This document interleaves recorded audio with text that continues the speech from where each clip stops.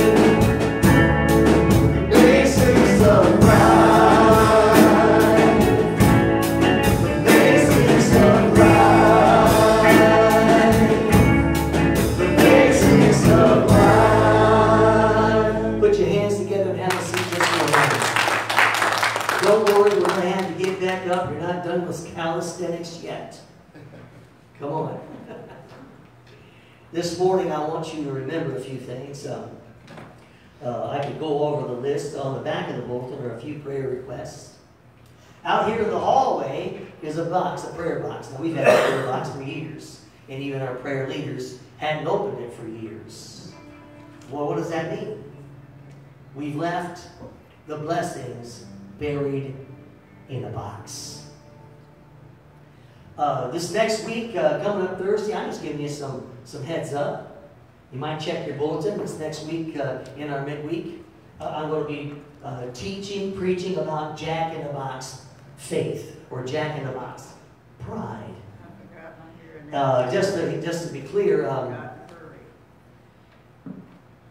many of us, how many of you know we are the Church of God, holiness, and Pentecostal? Amen. And in many ways, I can't speak of any other family of faith. I'll speak of ours. It's Jack in the Box. Whatever turns your crank, whatever gets a rise out of you. But wait, did you hear what I'm saying? So the question comes to mind when I say that, and from what God has been speaking to us now for weeks, if not months, what will it take to get a rise out of you? We learned this last Thursday as we're studying in the book of Hosea. God is in hot pursuit of us, and He's going to do whatever is necessary to get us to return to Him. Did you hear that? It's very difficult sometimes to understand the, the trials of our faith or trials in life. But Jesus told us, listen, you're going to have trouble. There's going to be plenty of trouble. But he also gave us some promises. Somebody tell me, when he said, in my father's house there are many, many, many mansions. And he said, if I, if it were, he said a lot of things. He said, if it wasn't, if it wasn't the case, I would have told you. How many of you believe Jesus? Amen. Will you, listen, will you take him at his word or not? Now, every one of us, notice I say us, I'm not saying you peoples, I'm not, no, every one of us, all of God's children, from time to time, we don't really take him fully at his word unless it's convenient. Hmm. Yep. When we say, I surrender all to Jesus, all to Him I freely give. Do, do you? At the moment, you might have a good intention to do that, and then, then you're going to get this in your mind. You're going to say, Well, I'm sure glad God judges us by, by our intentions. No, wait. You've got to follow through on what the intention of your heart is. That you, you're getting this, aren't you? There are many of us, we had, we had good intentions, but we haven't followed through like a good soldier. You know, we, we could we could frame you know we could actually frame a, a new commercial. You know uh, that insurance like a good neighbor. Well, it's State Farm, but you know I have I had State Farm insurance and they weren't there. Yeah. They're like most of us.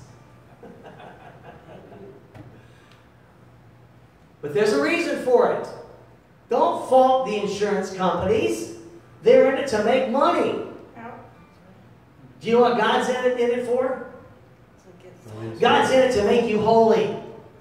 God's in it, and get this, God's in it not just for His glory, but I want you to hear, it is for His glory because His glory, when we give Him glory, it's for our good. Oh, did you hear how this works? He says, in my Father's house there are many mansions. If it were not told, I would have told you. So. I would have told you this. I would, get, I would have let you know. I'd give you the lowdown. He also said, there's a lot more I'd like to tell you, but I think many of us right now today, you've actually seen in your life where you've gone through some things, and you might say, well, I wish I had seen this coming. I've got to tell you, some of the worst things I've gone through in my life, I'm glad I didn't see it coming. Amen. Oh, yeah. Did you hear me? Amen. How many of you today really, really want to know when your last day on earth will be? No. It's coming. Uh-huh. Did you hear what I'm saying? How many of you really would like to know though when is Jesus coming? And some of us, we say, well, I hope he returns before I pass. Just to be clear, if you pass and you've been faithful to him, don't worry about it. Because you're coming back with him. Did you hear that? First. See, the idea is when we look in the Bible, actually, well, Hebrews chapter 11, the Bible says in Hebrews chapter 11 that they, oh, oh listen, they, they received the promise. Nope, they never received the promise. They got the promise, but they never had the promise fulfilled. But you know what? Even though it was never given to them, they believed the promise. It was counted unto them as righteousness, and they were faithful. And many died never having received the promise. They call that the hall of faith. Uh, you know, and you, you, you come to a place in your walk with the Lord where you can face your trials with joy. Oh my goodness, I, I think I'm about to frame another message. I, I think I started it, but, but for the joy that was set before him. How many of you want to have joy like Jesus? Amen. Let's look at Jesus, the joy he had. There he is in the garden, more than once. When he's agonizing. And he said, if there's any other way. You know, I noticed his Father in heaven never offered any alternatives. But there was one. Listen, listen, church, listen, this is how much Jesus loved what his Father loved. He had an alternative. Jesus, the Son of God, could have called on legions of angels to rescue him. Yet he's in the garden and he's saying, but is there any other way? So there are two choices here. Face your destiny at the cross, or call on the angels to get you out of there. Some of us, we're calling on angels to deliver us from our troubles. We're calling on doctors, lawyers, Indian chiefs. We're calling on politicians. But for the joy that was set before him, he endured the cross. Hear that? There may be some things that you're going through that you need to go through. There may be some things that you're going through that you probably should have avoided to begin with, but you got yourself into it, and now you're still trying to connive your way out of it. Me, listen, you can't. You can't get yourself out of any of these things because it is God who delivers us. And until we recognize it is Him who has made us, not we ourselves, we miss out on some of the greatest blessings and the greatest joy in life. Amen.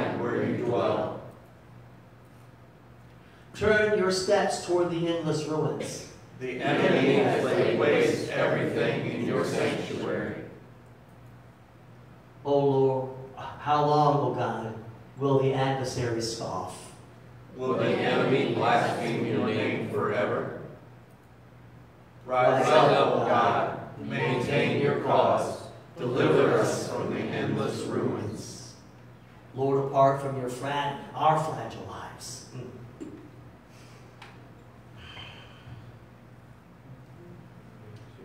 we would crumble without you. We would fall to ruins. I pray, Lord, that you would, and as you have always, sustain us by your mighty power. God, help us. Say that with me, church. God, help me. Help us, God, to rebuild our lives among those who have no home to call their own. Among the poor of heart and the poor of pocket. Bobbing around like a circus. Help us, Lord, to become those people who are called by your name. And everyone said, Amen.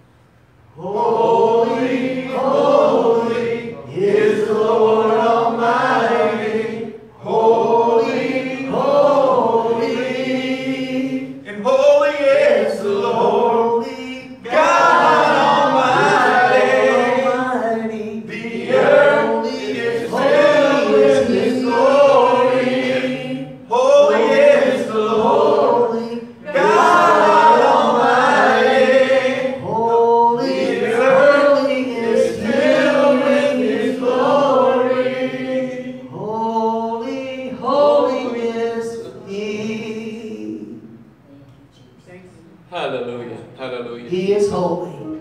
Yes, Lord. He is Hallelujah. holy. Hallelujah. We lift up the name of Jesus this morning. Amen. Hallelujah, Jesus. Brother Ed, or, uh, Brother Harold, William, whoever you are, bring on the lights, please. I can't see you. Praise the Lord. Go ahead and have a seat. Somebody give the praise band a hand clap of praise.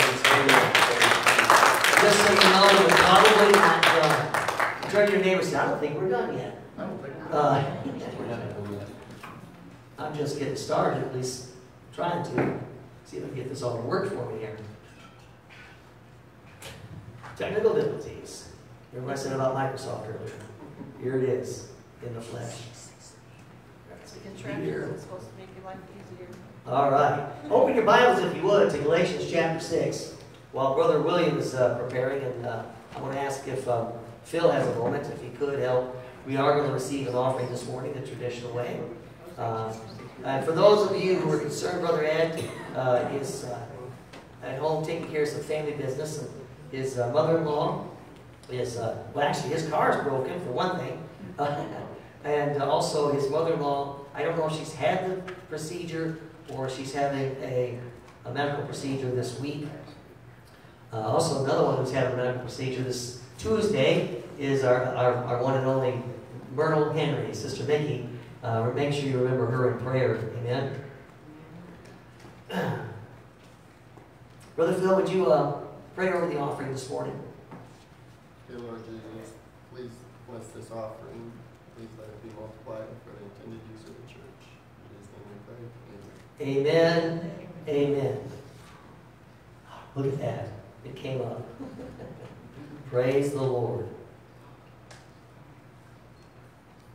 Still not right. Okay. Do that. All right, we're going to get it this time now. I don't believe in charms, but here's the third time. All right, I think I got it this time. Do I have my splash screen up there? Somebody say, praise God anyway. Um, Praise God. um, we're just, today we're going to continue on in our series. Phil, come and get me too, brother, would you? Uh, we're going to continue on in our series um, on the law or the principles of the harvest. I mean, we've been in these verses now for what, four or five weeks? And um, we'll take a little bit of a break this coming week, uh, just here again, as, as uh, a form of some more announcements to bring you on board. Um, next, uh, next Sunday, I'll be preaching a message. It's time for a new song. Uh, actually, it's time for some of you to start singing to begin with. I mean, really singing. You know, the Bible says, out of the abundance of the heart, the mouth speaks. But he also makes a promise. And I believe if we will surrender to what the Word of God says and the Holy Spirit, that what will happen is we'll have joy unspeakable, full of glory. Well, I, had a thought when I, I just read that again this week and came to my mind. And if we could just get to a point where we know what that means joy unspeakable that means you're not just going to be jacking your jaw anymore. But I promise you this when that joy unspeakable comes, you can't help but to sing praises. You're going to overcome, listen, until we come to a place where we can surrender our pride. And that's why some of us won't open our mouths and sing. Well, I don't sing too good. Who's judging? You're judging yourselves. I say this to you. Take a deep breath.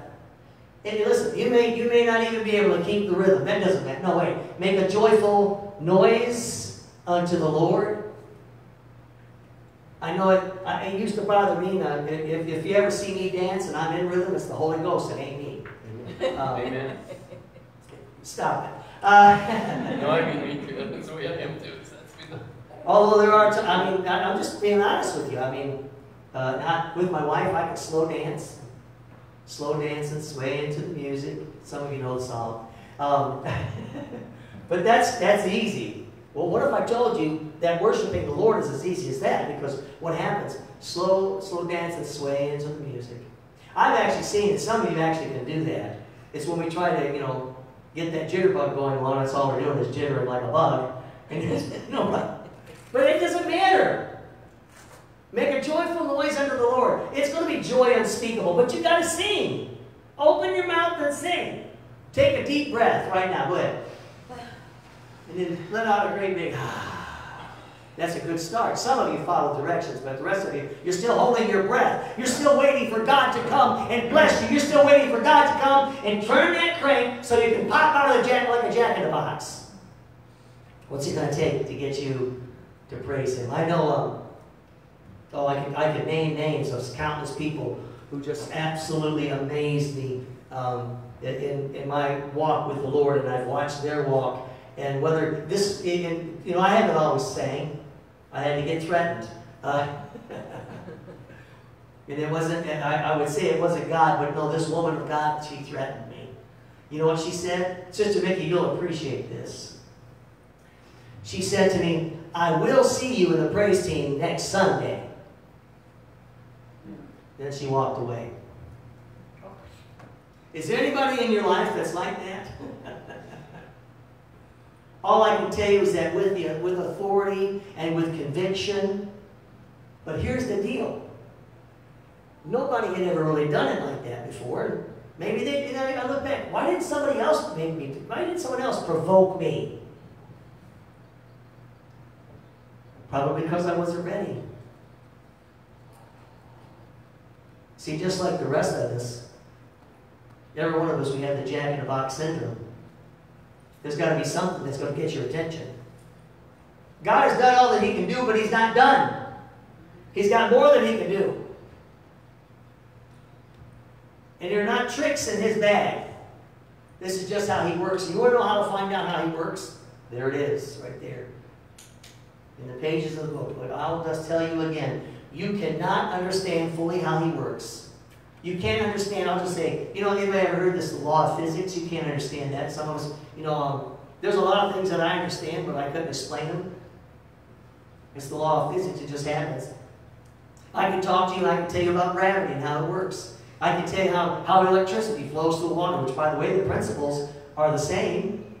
What keeps it inside the, what keeps it from jumping out and shocking us right? Well, the principles are the same. It's the same forces at work. But what's keeping you from jumping out of your skin? Oh, this, this isn't me this morning. This is too good to be me. What is keeping you from jumping out of your skin? What is, what is causing you to withhold the praises that God desires and deserves? And sometimes we wonder why we're not getting all that we want to get from all that we've done, all the effort we've placed forward. But let's review the verses. In Galatians chapter 6, beginning in verse 6, it says, Let him who is taught the word share in all good things with him who teaches. Do not be deceived. God is not mocked. For he who sows in his flesh will of the flesh reap corruption, but he who sows to the Spirit will of the Spirit reap everlasting life. I want to speak to you this morning in particular about this principle uh, of the harvest, this law of the harvest.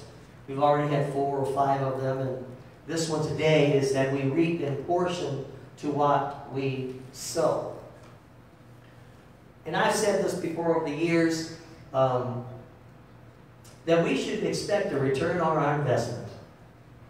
There's a story in the Bible about these people, they, they call it the, the parable of the talents. Some of you know about it. There was one who received one, another five, another ten.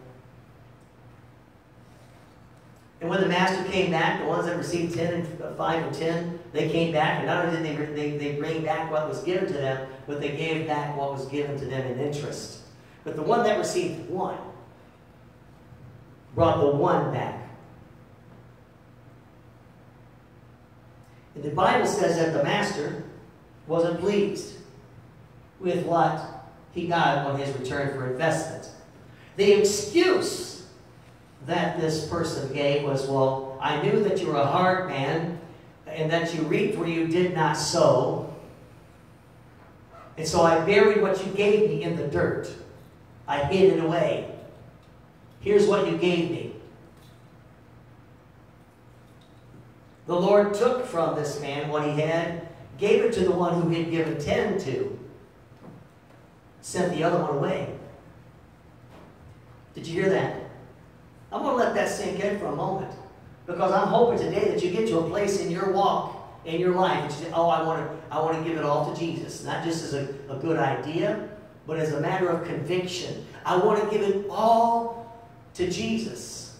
So that when you sing that song, all to Jesus, I surrender, all to Him I freely give. Love I surrender. I surrender. All to thee, my blessed Savior. I surrender all.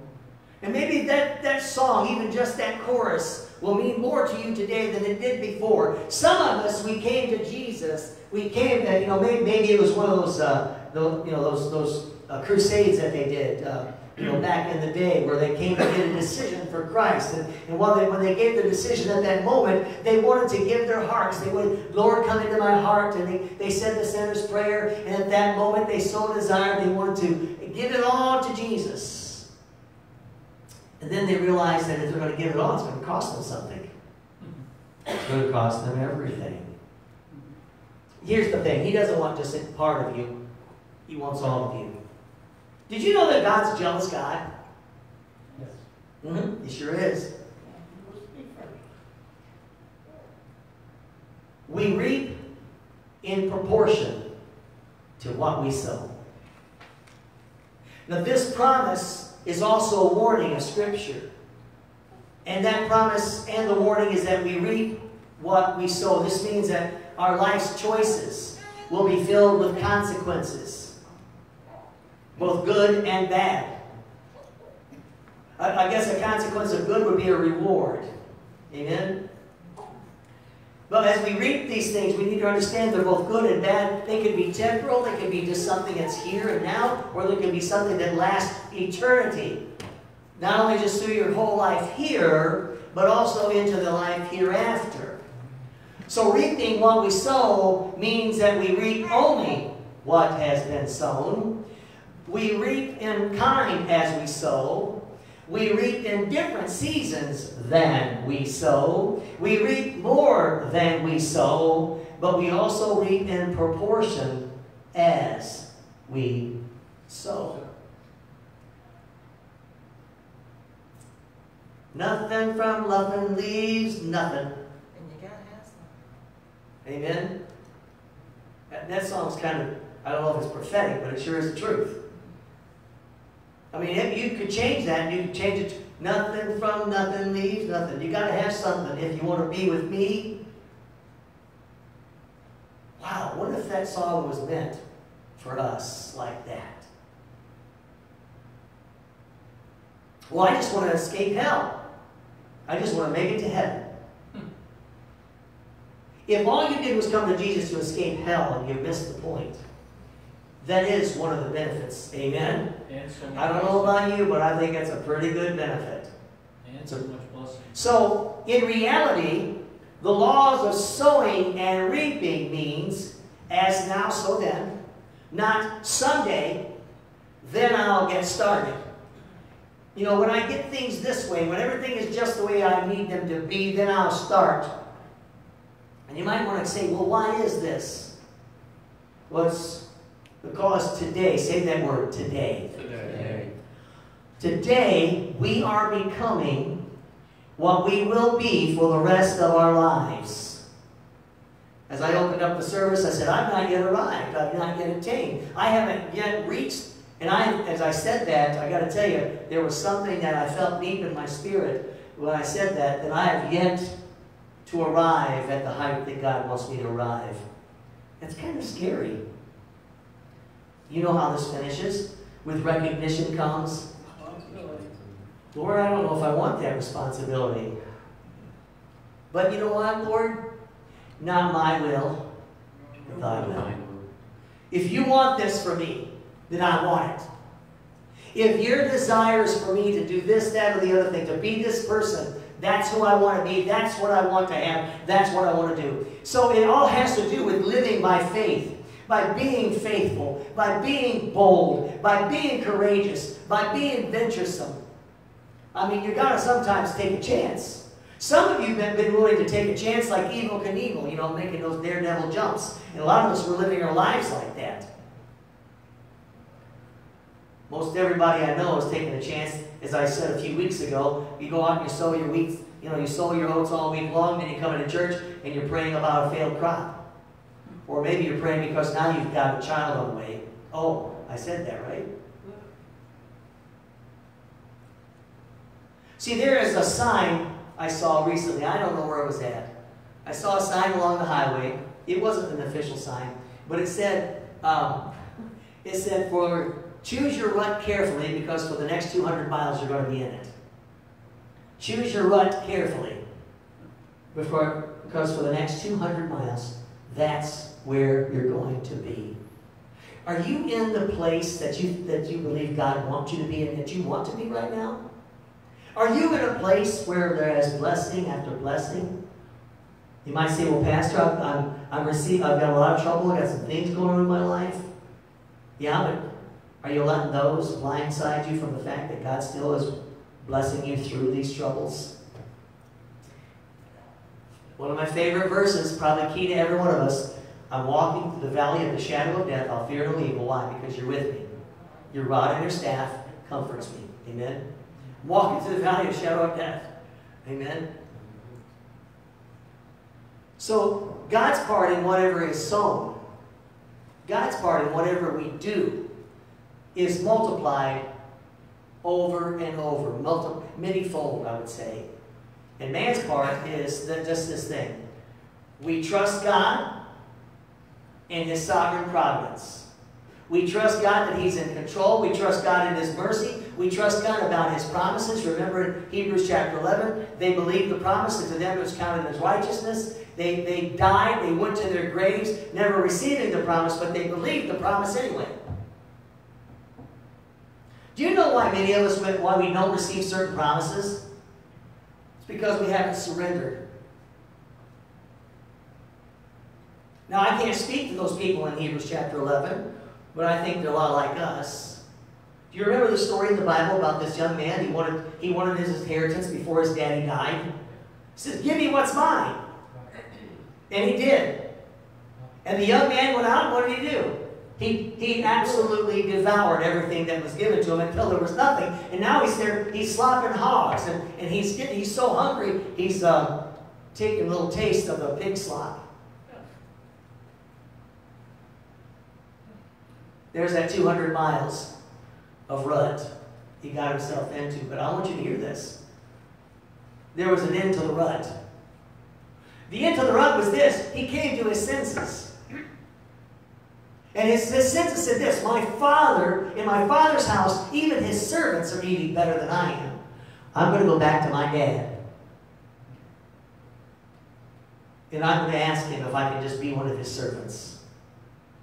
Was he, you think he was a little surprised? Was he not surprised when he came and his father saw him from afar off and his father broke into a run? I don't know how old dad was. If I break into a run, that's God, okay?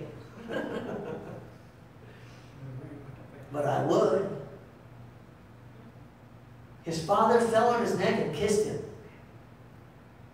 He said, bring him a robe, bring him a ring, let's kill the fatted calf. That son which was, was dead is now alive. That son which was lost, he's now back again. We're going to have a party. And he restored him to his place.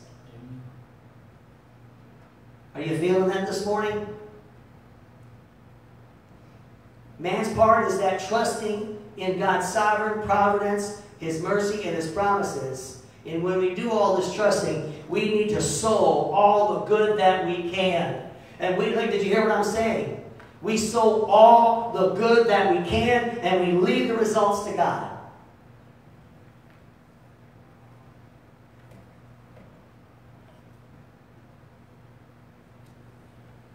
Where do we learn about this even further? What does the Bible say about this? In 2 Corinthians chapter 9, verse 6, it says this. But, I, but this I say, he that sows sparingly shall reap also sparingly, and he that sows abundantly shall reap also abundant, uh, bountifully. I may have given you this list in your, in your bulletin, but it was really like a wow moment. You know, if you want to be rich, give. If you want to be poor, grasp. Hang on to what you've got. Don't share. Don't give. If you want abundance, scatter. If you want to be needy, hoard. Be a hoarder. You know, the world's philosophy, I mean, that of man's wisdom, is it's typically opposite to God's philosophy. And, oh, okay, this was another thought I had, and some of you will, will, will feel this pretty good, those who sit on their hands. Um, listen to this. In, in the world, uh, the philosophy is, is something like this. Get all you can, can all you get, then sit on your can. Did you hear what I said? Yeah. Get all you can, can all you get, box that up, and then sit on what you've boxed, sit on your can. I think we need to rise up. Amen? Uh, examples of the principle in the Bible. It says the law that we reap in proportion to what we sow, like the laws of harvest, operates both negative and positive. It goes both ways. And some of us, sometimes we're just too afraid to take chance because we're, we're so concerned that's going to go negative. You see, if we sow abundantly to the Spirit, we will reap abundantly in spiritual blessings and consequences. Think about Jesus. Well, for the joy that was set before him, he was sowing. He, he was tilling some soil. But if we sow abundantly to the flesh, we will reap an abundant harvest of the consequences of our fleshly living. A life that's full of weeds, trouble, unrighteousness, needless suffering, just, just a life that is absolutely hellbound. You know, we can look at the Old Testament, and I've preached about this recently, about David. Anybody remember King David? You know what they said about David? He was a man after God's own heart. But, this same man, he continued to sow to the flesh, and so his sin snowballed. I mean, let's go back to what happens. He went, he saw this beautiful woman taking a bath. And he had to have her. So he's the king, and the king, the king gets what the king wants. So he sent to have her brought up. So the servant goes and gets the woman. The woman, who's, how can this woman deny the king? Are you hearing what I'm saying? So she comes and she lays with David. David knew what was wrong. But I don't think he realized the consequences of what he did. Because he went from coveting Bathsheba in one sin, and then another sin. He continued on and he conspired to have her husband killed. He conspired to, to do a cover up because she got pregnant. Now she's going to have a baby. What a, what a scandal in the kingdom that's going to be. So she has her husband sent to the front lines where there's no way he's going to come back.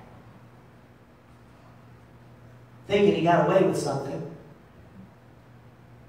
But he sinned, and he abundantly, he abundantly reaped the consequences. Of it. Well, how did that happen? Some of you might know this. We, we shared this uh, during the midweek. There was a man by the name of Nathan, and Nathan was a prophet. Now, he wasn't necessarily a godly man, but he was a prophet, and God spoke to him. And this, this was after the baby was born, so some time has passed. I set this aside. And so here it is. He sends way over here. Nine months, a year, maybe two years has passed. God speaks to Nathan and says, listen, go tell him. Tell him what? Tell him what you saw. but also tell him this. So Nathan goes to David, I saw what you did.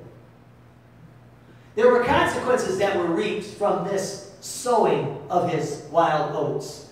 What were they? Well, number one, uh, what's going to happen? The Bible says that the sword of iniquity would never be removed from his household. In other words, his children and his children's children are going to pay the price of the sin that he committed. Not only that, but that son that Bathsheba gave birth to will die. Comment was made this morning before we started because I was meant, I, I was talking with Sister Amanda about this, I think, and she said, you know, uh, it, it's interesting that God waited for the baby to be born, but it's not surprising. You know, the consequences of what you do right now may not be manifest instantly. Sometimes it takes years for things to come out. And so we see he sinned abundantly and he reaped abundant consequences. But the primary motivation and the emphasis of this principle and promise in the Bible is more towards the good than it is towards the evil. Most of us, in the, listen, most people in the world, I mean, in the world, you hear what I said? People in the world. Well, you know, you reap what you sow. What goes around comes around. I mean, we say these sort of, but some of us as Christians were saying those things. You might even be saying it according to the Bible, but are you really saying it according to the Bible? Are we really speaking truth in love? You see, when David was confronted, something did good come out of it. He repented. Oh, finally. But it took time before David would be ready to say, Lord, forgive me. I have sinned against you, and only you have I sinned in your sight. But still, the sword of iniquity may remain. The, the, the consequence is going to remain. Oh, there are other consequences to what happened. Probably more than were recorded in the Bible, but I think there was enough recorded for us to understand that our sinful decisions have very bad consequences.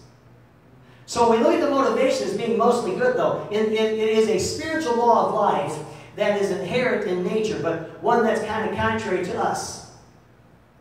So God encourages us through a, a, a number of passages that I found in the Bible. He encourages us to live as children of God. But you live as children of God according to the principle and the promises that our generosity will not be forgotten.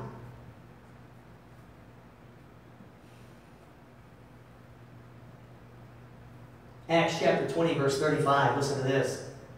I have showed you all things, how that so laboring you ought to support the weak, and to remember the words of the Lord Jesus, how he said, It is more blessed to than receive. In Luke chapter 6, verse 38, I'm going, I'm going slow because you, some of you are note takers. I'll, I'll, I'll pick up the pace again. Don't worry, the lunch will wait. Give, and it shall be given unto you. Good measure, pressed down, shaken together, and running over, shall men give into your bosom. For with the same measure that you meet withal, it shall be measured to you again. Matthew chapter 19, verse 29. And everyone that hath forsaken houses, or brethren, or sisters, or father, or mother, or wife, or children or lands for my name's sake shall receive an hundredfold and shall inherit everlasting life. Now there's a promise. And then Proverbs chapter 11. Remember I said something about the scattering. Because sometimes we are so caught up with, well, you know, I want to make sure that if I if I do something for this man right here, that I'm going to get a return on my investment. And I, you know what? I, I've judged that he, if I invest into him, I'm going to get a return. It's a sure thing. But I'm sorry about him over there. I, you know what? He's, he's on the fringe.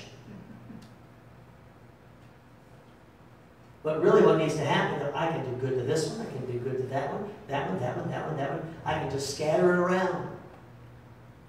But I'm not doing it for myself to get some sense of gratification. Oh, look at me. I've done my good deeds. Because Because if you're like that, you've already got your reward. Walking around like a baby rooster. So what happens is that there are those times where we need to scatter, we need to give, and we're really not expecting something back. Wait a minute, that's really what happens most of the time. Except there is a promise right here. And how many of you expect to get return of the promise of God? If God said He's going to do it, He's, he's offered, for, offered it for you, don't you want to receive the promise? Amen. I know it's kind of hard to get this because, you know, the reward of heaven what does it even look like to you? Can you even describe it? Have you even talked about it? Can you put it in words what the true reward of heaven looks like? Well, I see, uh, we get new bodies. I don't have to be all crippled and no, wait, stop. There's more to it than that. The reward of heaven is this to be absolutely in the presence of God. You can have some of that here, by the way. You don't need a new body necessarily to worship God. Some of us were saying, you know, if my circumstances will get this way, or if I can just feel that way, or I, then I can praise God, but I just don't feel like it. I'm not feeling it right now. So let me find out what I've got, what crank I need to turn. there we got it. Jack in the box, faith. Jack in the box, worship. I'm not getting too many rises, so I'm going to have to crank a new crank here push a new button. But so the point is, there is that scattereth and yet increase. And there is that that withholds more than is meet, but it tends to poverty. The liberal soul shall be made fat, and he that waters shall be watered also himself. He that withholds corn, the people shall curse him, but the blessing shall come upon the head that sells it. In other words, give it. You, you, you, grow, you grow a crop and you expect to eat it all into yourself. I said this a few weeks ago that when the farmer plants, he doesn't plant one seed, uh, plant an apple seed and expect to get one apple. That'd be a waste of time. He doesn't plant just one kernel of corn and expect to get one ear of corn. Matter of fact, he's going to think about it. Even that one ear of corn is already more than just the one kernel that he planted. Do you hear how this works? So the principles work in nature as it does in the spirit. You plant a little, you might get a lot. But what if you plant more? What if you get the idea that God wants to bless you abundantly? Turn one of my favorite books, Titus chapter 3. I'm going to jump there real quick. Um, however I call quickness. uh, Titus chapter 3, listen to this in, verse, in the first verse. Remind them. I'm preaching today, so I guess I'll be doing the reminding. So pay attention. Remind them to be subject to the rulers and authorities, to obey and be ready for every good work, to speak evil of no one, to be peaceable, gentle, showing all humility for all men.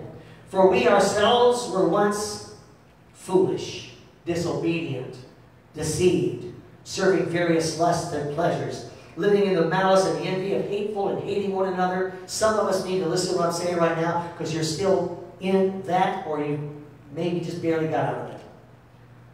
But when the kind listen to this, but when the kindness of the love of God our Savior toward man appeared, not by works of righteousness which we have done, but according to his mercy, he saved us through the washing and regeneration and renewing of the Holy Spirit. Hallelujah. Whom he poured out on us abundantly through Jesus Christ our Savior, that having been justified by his grace, we should become heirs according to the hope of eternal life. And listen to this. Verse 8. Titus chapter 3, verse 8. This is a faithful saying that these things I want to affirm constantly to those who believe in God should be careful to maintain good works. These things are good and profitable unto men. In other words, we are to be people who sow bountifully, generously from our lives. Amen. Uh, there's another verse, like uh, I know it's in uh, one of the letters of Thessalonica. Paul writes and he says, Listen, um, we came to you and we, we listen, but we love you so much. Just so you, uh, you're so dear to us. It's like we, when we came to you, we didn't just come and preach to you. When we came to you, we wanted the, the King James says we we, we wanted to share our soul. Uh, another translation, because you were so dear to us, we wanted to share our lives with you. Some of us need to get grasp what we're talking about here. When we have a lunch on Sunday, or when we're having a meal or whatever, sitting around the round tables, that's actually what's supposed to be promoted. And it's supposed to be so good that you got to go out and tell somebody, hey, you know what I had lunch? Well, guess where I ate for lunch on Sunday? And guess what I had? Come on out for lunch. Come on, bring it out. Here's a, we'll, we'll, we'll prepare a table for you, amen? You getting that right now? But I want you to see that. So we are people who are so bountifully and generously of our, of our lives from what we have. You say, but Pastor, I don't have much. Share that. I'll go back to what I said about your singing. Well, I don't, I'm, I'm not much of a singer. Well, it's fine. Let's sing anyway. Sing praises unto God. Amen?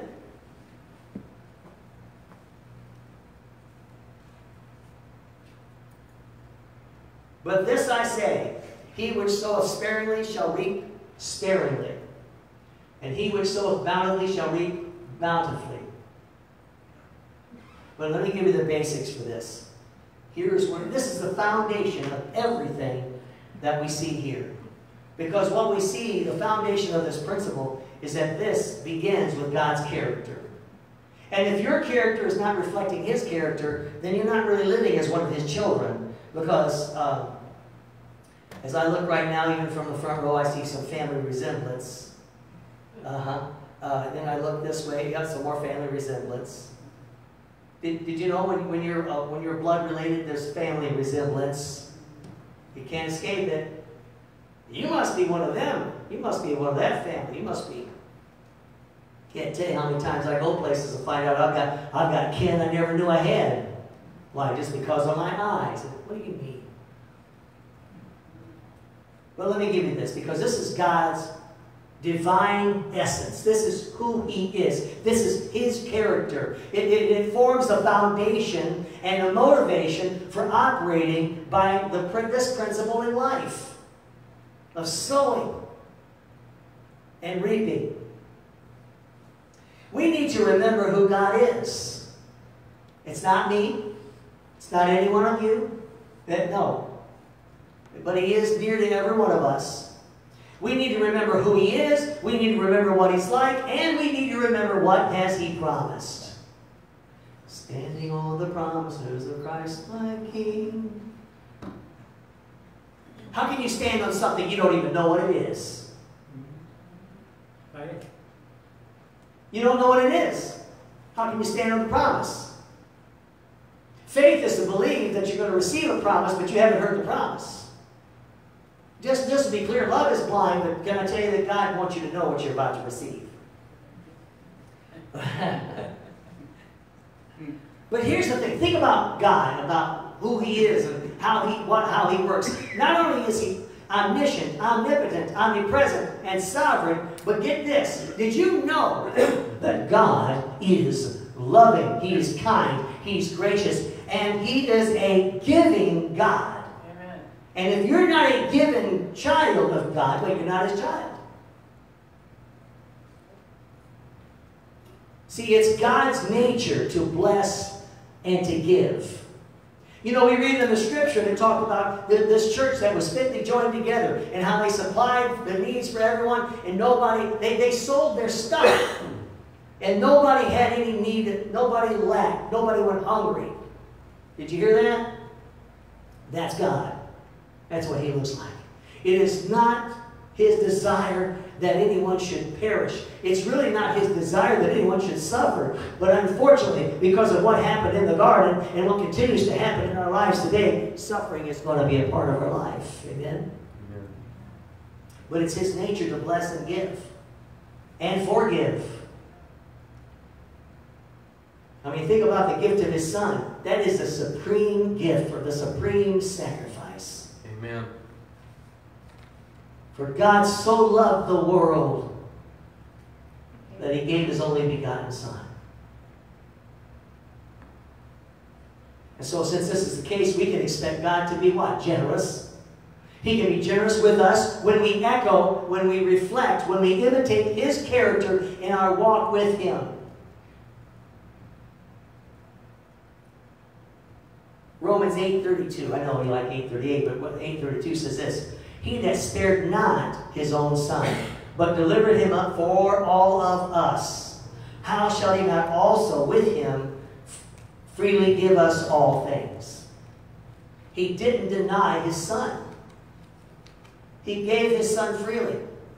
And his son freely gave his life. His son was an absolute express image of his father who's in heaven. Hallowed be his name. Ephesians chapter 3, verse 20 says, Now unto him that is able, say able.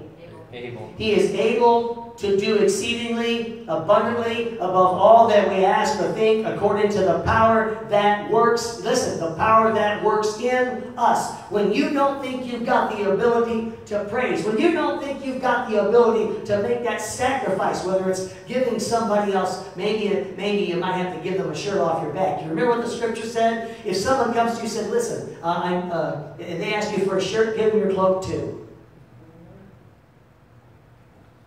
Well, he didn't for my cloak. How often it happens, somebody comes in, they, they need something. We, they, they get a box of groceries, and, and the question that is asked by some of us, do you need anything else? Or maybe we don't even ask the question, oh, by the way, here, here's a gas card. This will get you through the week. Come on, somebody. I'm just giving you some practical examples of how it is that people get blessed by the people of God. I mean, notice carefully what the Lord is able and He wants for us. Listen to this. According to what we ask and even think, above all that we ask and think, abundantly above all we ask or think, mm-mm-mm, and exceedingly abundantly above all that we ask and think. I mean, it's obvious to me, since bountiful sowing is a result of what we do, we need to say a bit about our part and what is needed in us if we're going to act on this principle of sowing bountifully.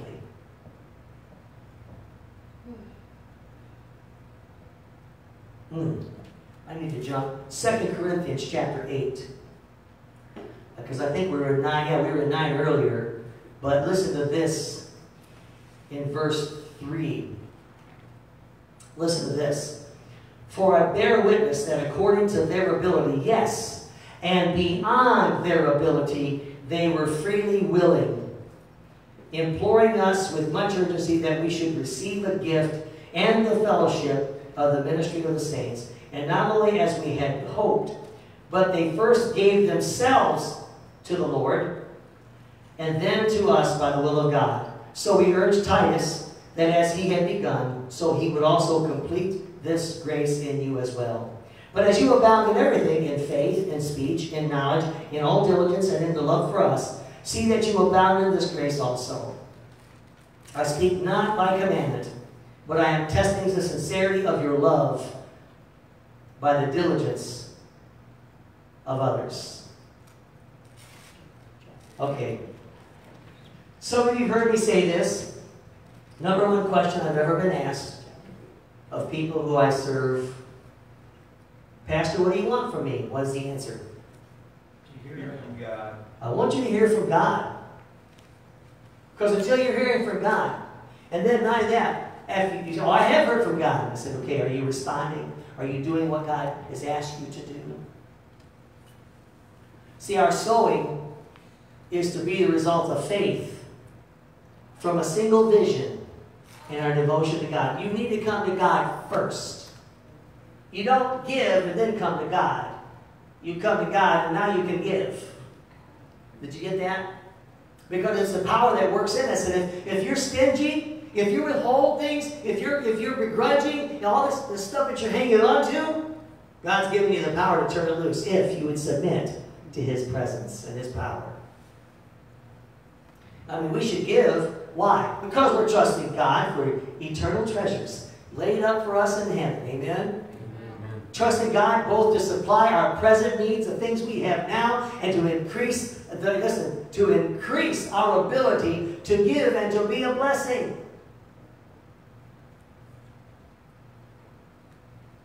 Now, of course, we should always give out of the love of God and people in need.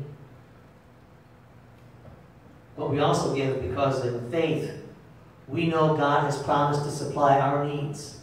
That our giving will not be our lack, but it'll be part of our abundance. It doesn't make sense in the economy of the world. You can't give.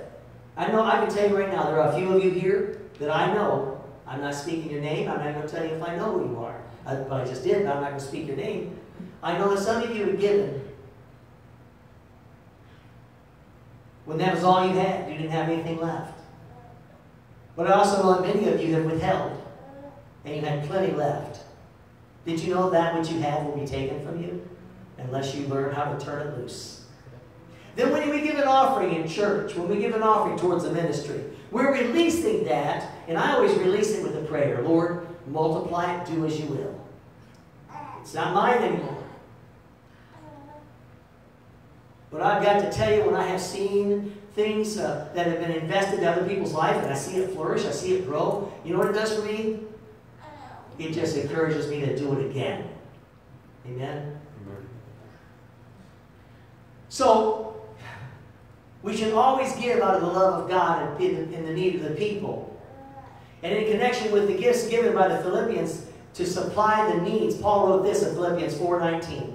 But my God shall, what? Supply all your need according to his riches by Christ Jesus. In 2 Corinthians 9 and 6, again, we'll come back to that verse. Here's what it says. But this I say, he which sows sparingly shall reap also sparingly, and he which sows bountifully shall reap what? Bountifully. Will you believe God with me today?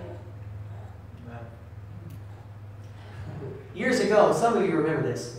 We don't give in order to get. That's not what I'm preaching here today. Although I will tell you, there was a, a time when for several months I preached. We give to get to give, to get to give, to get to give. No, wait a minute. We give, and now we're privileged to give again. And we understand that there's a cycle, a, a, a cycle of renewal, a cycle of multiplication. Have you ever noticed that God's better in multiplying than he is in division? God doesn't like division. Did you hear that? He likes to multiply. Right from the very beginning in the, in the book of Genesis, he said, Hey, Adam, Eve, multiply, fill the earth. Unfortunately, by human nature, it was about divide and conquer. Did, maybe you've never seen that before. But that happens to be our nature. But when we get this new nature, when we become a child of God, our nature changes. So a point of clarification is over concerning this. So the analogy of sowing and reaping here in 2 Corinthians 9 and 6, it does not teach that you will get back tenfold or a hundredfold of your giving so that you can give in greater and greater luxury or prosperity. As a matter of fact, if you get a return on your investment, what God's looking for us to do is invest it again. Give it all again. Did you hear that? This is the part of the law or the principle of sowing. Everything, listen, everything that you've given me, Lord, I'm giving back. Nothing, Lord, have I held. Not holding back in any part. I'm giving it all to you. That's a good song. So in grace sowing, you give so that God is glorified and that somebody else receives a blessing. Did you get that? See, there's a promise of return but it is to increase our seed for sowing. If you get blessed with an abundance, it's not for you to bank it. It's not for you to squander it. No. You say, okay, I've got this. I'm going to, all right, Lord, you, you bless me with this. I'm going to invest more. I'm going to give more. Just to be clear also, you can't outgive God. I mean, it seems to be fun. You try to run a competition, but you can't outgive God. You can't. Just like in a few weeks, I've got a message I'm working on right now that did you know you can't out-sin God? Now, before you go jumping off the cliff and say, well, wait a minute, God can't sin. You don't understand what I'm saying. His grace is greater than your sin. You can't out-sin Him. Because His grace is greater than your sin. Where sin abounds, grace much more abounds. Let me get back on this. Because here's what I'm going to close with these ideas real quickly here. Because how many of you that if you, if you believe this to be true, would you say amen? Life is full of uncertainties. Amen. Wow. All you got to do is go read Ecclesiastes. And, and he's talking about uncertainties and vanities and vexation of spirit, all these things. But listen to what he says in Ecclesiastes chapter 11. He that observes the wind shall not sow, and he that regardeth the clouds shall not reap.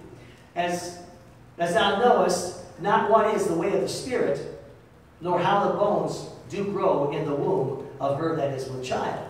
Even so thou knowest not the works of God who maketh it.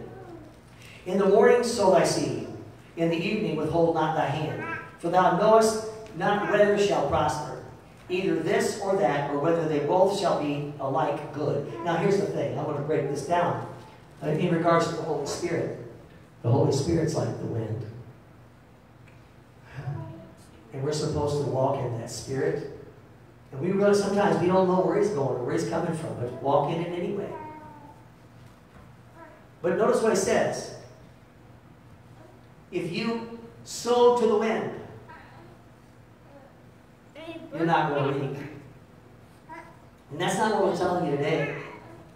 See, contrary to how, how man typically thinks, these verses and these conditions describe uh, are, are, are, designed to promote bountiful sowing, to, to encourage you to sow more. And the verses warn about the dangers of being overly cautious that hinders you from being generous. I can't, I'm, I'm see. I know some people in here, and I, I've been one of them, I guess. I was, my, my gas tank was on a quarter or less. I had enough in my pocket to, for, to fill my tank up and get me to work for the rest of the week. For whatever reason, I, without thinking, I would say, I thought about it afterwards. I reached in my pocket and I gave what I had. This has happened more than once. And there's been times in my younger days I walk my wife and say, what, what? Or I tell her, hey, listen, give that. She's, uh, you know, uh, we've got this, this, this bill to pay. Give it anyway. And she'll tell you stories. We've had, we got stories where we did it anyway, and somehow or other, not only did we pay the bills, there was more than enough to pay bills we didn't have yet.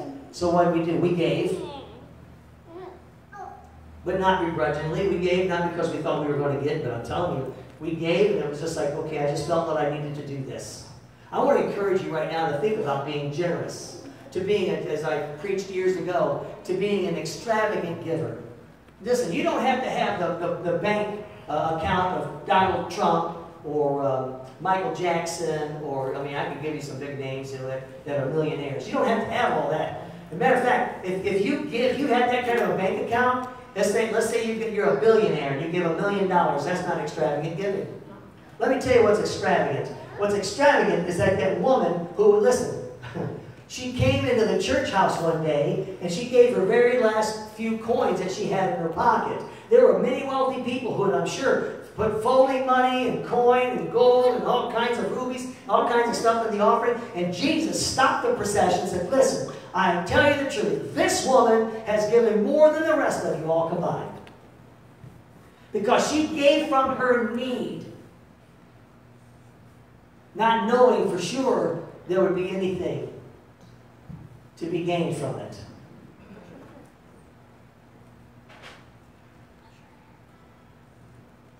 You see the uncertainties in our life? There are some things we're sure about, and we think we've got a handle on them. What if I told you you're not certain of anything? I, oh, I don't have time for more, but uh, we'll talk about it more tonight, I would hope. Uh, you, you aren't certain of anything. You don't even know that you're going to get out of this, this sanctuary today. You won't even know that you'll make it through lunch. You won't even know if there's a tomorrow for you. So live today like there is no tomorrow. Give today like you've got plenty.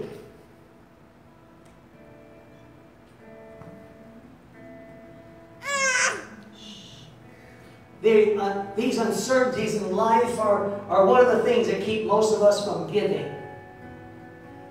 These uncertainties in life are the things that keep us from ministering to others when we have the opportunity to do it. Because we're trying to hang on to what we've got. We get all we can, we can't all we get, and then we sit on our can. Oh no, not, just to be clear, most of you in here this morning, I encourage you, and I and, and listen, I want to applaud you because if you look at the, at the accounting system in a church, and you'll find out the indebtedness. Did you know by the end of this year we will be debt free? And the only debt that we'll owe is to Jesus. And because of that debt, we owe a debt to our fellow man, and that is to share him with others. Owe a debt to the sinner. Amen. You see what happens? Uncertainties of life makes us exactly that. We're afraid. We're uncertain. We don't have the confidence that we should have in God. And so they're afraid that their giving will be their lack. It will be their undoing. Who knows what the future holds? If I give, I if I give, I might not be able to meet the needs for my family. If I give, I might not be able to get my extra candy bar tomorrow. Go to that McDonald's. But when we read the scripture, the verses are given in a context that calls for our casting our bread upon the waters. For generous giving, knowing that our gifts will return to us later. You may not receive your blessing right now. But I want you to hear this morning there's a blessing coming to you. If you'll just surrender what you have, what you think you belongs to you. I guess what I want to say here is the point is don't try to second guess the sovereignty of God. Trust it. Trust it. Just trust the Lord. You say, Pastor, I'm having trouble trusting the Lord. It may be because you don't know Him as well as you'd like to. I want to encourage you this morning, if you, if you want a better relationship with God, if you don't, listen, if you if, if this morning you don't feel that you're secure, even in your salvation, or that your walk with Him is not as steady and as sure as you would like it to be, would you just lift up your hand and say, Father God, I ask you right now. I ask you right now, Lord, to speak to my spirit. Comfort my soul. Bring understanding of your word to my mind that I can grasp it. Help me, Lord, not to wait for those conditions to get perfect, but, Lord, to rely absolutely on you. I ask this in Jesus' name. Save me, Lord, from myself. Amen. Just trust in God. Trust in Him. We, we can't wait for conditions to be perfect that never will be. Did you hear that? The conditions in our life will never be perfect here. Nor can we wait for things to be free of risk. We can't wait for things to be absolutely free and absolutely safe. Listen, I got up this morning when I stepped off the deck. I took a risk that I wasn't. I was going down, but amen. But I didn't go to the ground. We don't know what tomorrow holds. Instead of protecting ourselves, we have to take what appears to us and risk and make our decisions by faith. Not by what we think we see, not by what we think we know, except we know Him and we trust Him. Amen.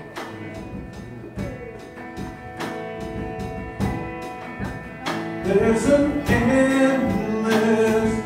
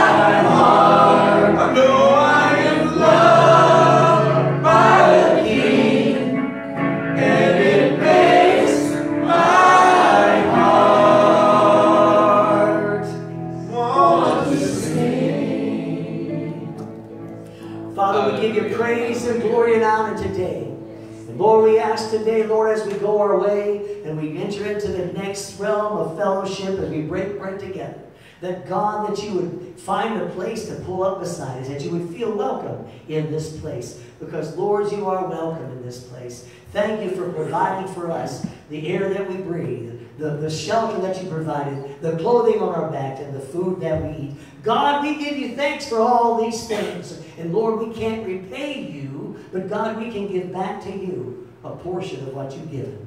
So, Lord, we offer our lives to you and to each other, fulfilling that which was said by Jesus, that, Lord, we should love you with all our heart, mind, soul, and strength. Father, help us, empower us, inspire us, provoke us to do what it says with all of our heart, mind, soul, and strength, to give it all to you, knowing that you are the one who gave it to us. And Lord, to love others as ourselves.